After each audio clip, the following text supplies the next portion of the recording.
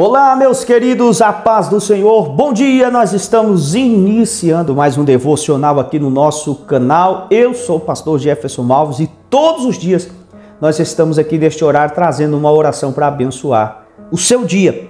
Você que precisa de uma bênção, de uma oração, você que quer que o seu dia seja abençoado, eu quero convidar você para estar conosco, porque sempre nós estamos aqui neste devocional nós iniciamos o nosso dia falando com o Senhor, refletindo em um versículo da palavra de Deus, uma passagem, e Deus tem feito grandes coisas e pessoas têm sido abençoadas.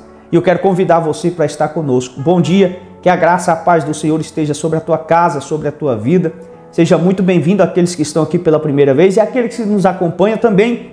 Que Deus possa abençoar a tua vida. Continue sempre conosco neste momento, nesta, neste devocional, eu tenho certeza que esses minutos que nós temos tirado do nosso dia para falar com o Senhor, para iniciar o nosso dia, tem feito toda a diferença e a bênção do Senhor tem sido derramada sobre cada coração, sobre cada lar, e assim nós vamos seguindo até o Senhor né, nos permitir estar aqui. Que Deus abençoe, muito obrigado por permitir com que eu te alcance através dessa plataforma. E você pode ter certeza que todas as vezes que você abre né? Me dá essa oportunidade de chegar até você, me dá, abre o seu celular este vídeo. Deus está abençoando não só você, mas todo o ambiente da sua casa, o ambiente onde você está, porque a bênção do Senhor está sendo derramada sobre cada um através dessas orações que nós fazemos aqui todas as manhãs. Antes de iniciar, você já sabe, né? Deixe o seu like. O seu joinha é muito importante para o nosso canal.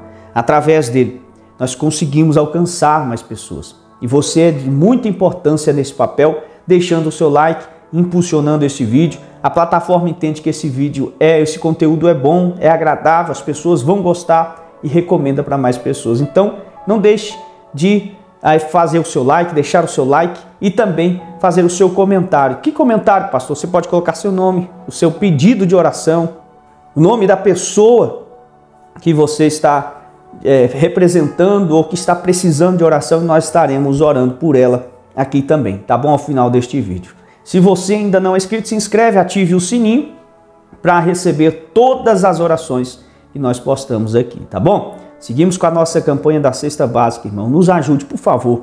Nós estamos precisando, porque são famílias que estão precisando e, e a arrecadação está cada vez menor e eu preciso da sua ajuda. Você pode fazer a sua oferta aqui, ó, através dessa chave Pix, e você vai estar ajudando essas famílias. Nós sabemos que não está fácil, né? Tá, tá difícil para todo mundo a situação em que estamos vivendo. As coisas estão cada vez mais caras, né?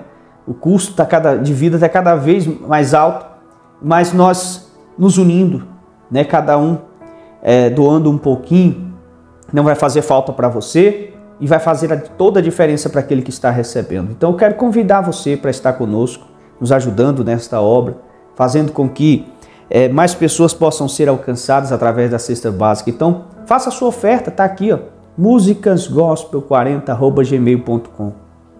Eu sei que aí do outro lado tem pessoas que podem me ajudar com o valor de uma cesta básica.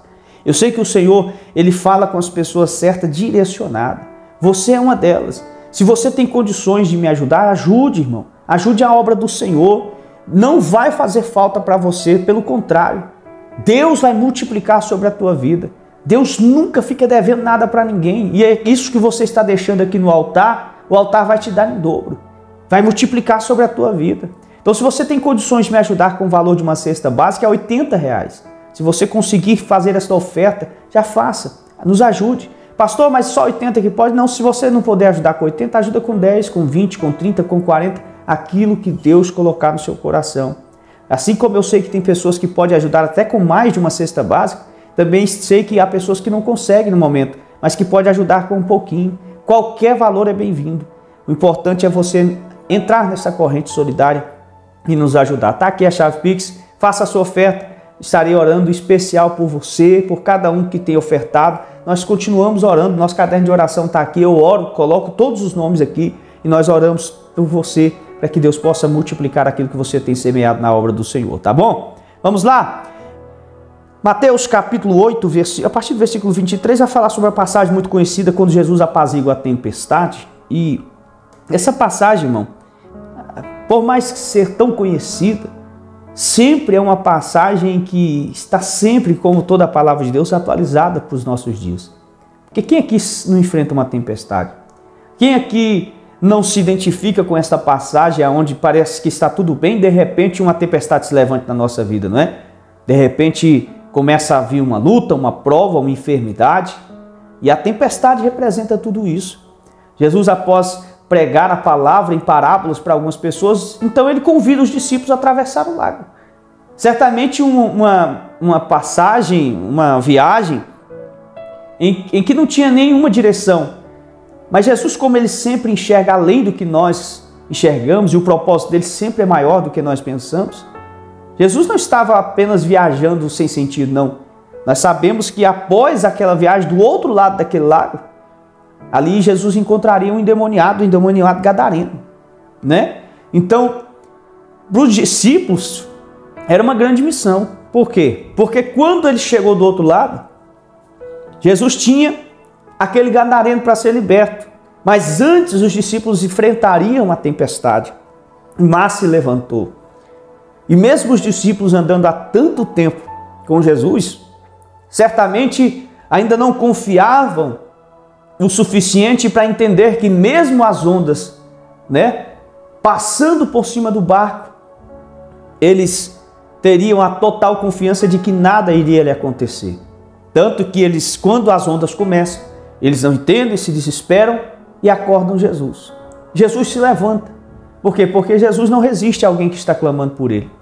E quando ele levanta, então ele vai acalmar a tempestade, vai acalmar o vento, vai dar ordem às ondas para que se possam acalmar. Por quê? Porque o Senhor tem o controle em suas mãos. Então, talvez para os discípulos aquela tempestade seria o auge. Tanto que quando Jesus apazigua a tempestade, ele diz: Mas quem é esse, né? Que até o vento e o mar lhe obedecem. Só que os discípulos não conheciam ainda quem era Jesus. Como? E a prova, pastor? Por essa pergunta. Andavam com ele, mas ainda não conheciam verdadeiramente o poder de Jesus.